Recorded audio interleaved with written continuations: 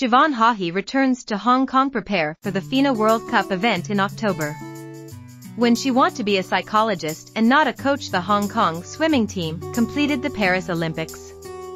Siobhan Haughey, who won bronze medals in two swimming events, arrived in Hong Kong this morning, 6th. Many fans and her supporters welcome her back at the Hong Kong International Airport. She ranked third in the women's 100-meter and 200-meter freestyle swimming, won her two bronze medals the Paris Olympics. In addition to the two silver medals at the 2021 Tokyo Olympics, she won a total of four Olympic medals.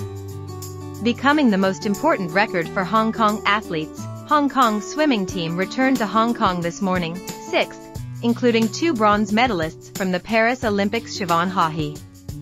Siobhan mentioned that she will take a rest before preparing for the FINA World Cup event in October.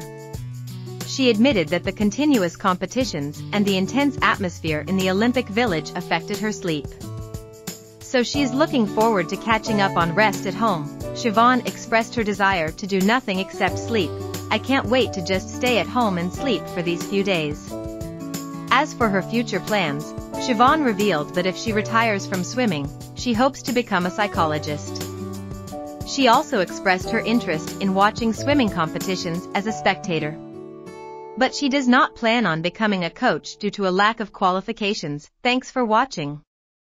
I hope you found this video informative and enjoyable. If you liked what you saw, be sure to subscribe to my channel to stay updated with all my latest content. I have a variety of playlists covering a wide range of topics, so there's something for everyone. By subscribing, you'll be the first to know when new videos are released.